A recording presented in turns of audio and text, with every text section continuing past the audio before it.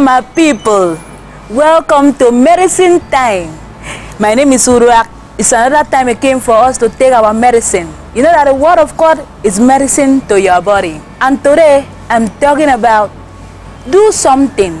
Stop waiting. And our Bible verse is taken from Exodus 14 verse 15. It's talking that God said to Moses, Why criest thou unto me?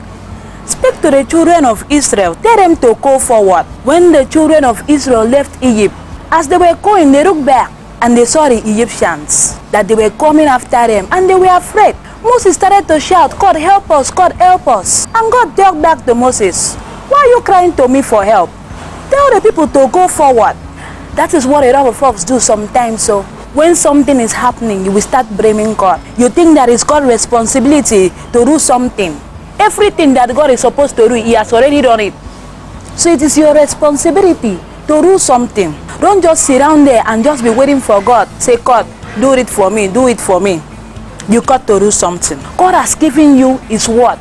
He has given you kingdom principle. And all these principles, you have to put it to work for it to work in your life. Don't just sit down there. God has given you talents. He has given you different things to use and help other people and to use and help yourself.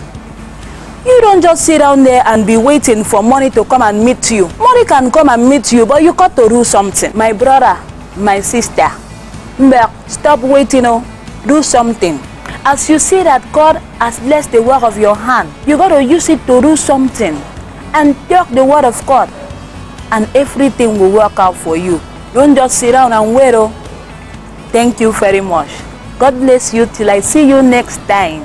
My name is Till Uduak.